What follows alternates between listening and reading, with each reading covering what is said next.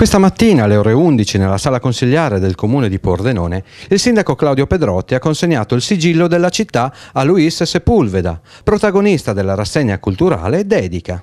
Il sigillo viene conferito alle personalità, ospiti della città di Pordenone, che si sono particolarmente distinte nella loro attività. Il sindaco di Pordenone Claudio Pedrotti.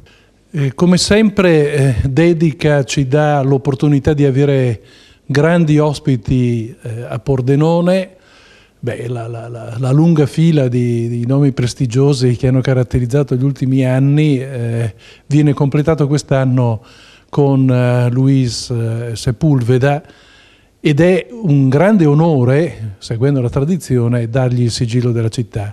È un modo simbolico per non solo manifestare a questo grande personaggio eh, che credo ha questa incredibile natura di grande estroversione, ma alla fine se leggete i suoi libri anche di un tocco di tristezza e di così, scetticismo verso, verso gli umani.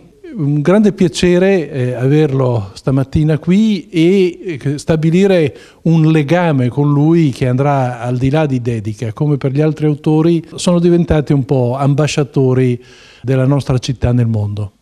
Quindi eh, è alla fine una doppia festa, perché se noi diamo un simbolo con cui li facciamo diventare di fatto cittadini di Pordenone, loro contraccambiano e ci danno come compenso il fatto di diventare i testimonial di Pordenone, di quello che noi facciamo qua, del nostro modo di fare cultura che eh, ha una unicità che ci contraddistingue. Quindi un grande piacere, ma anche eh, un grande eh, vantaggio per Pordenone ancora una volta attraverso il fatto di fare cultura. In seguito alla cerimonia, in una sala gremita, sono stati premiati gli studenti che hanno partecipato alla rassegna Parole e immagini per Luis Sepulveda.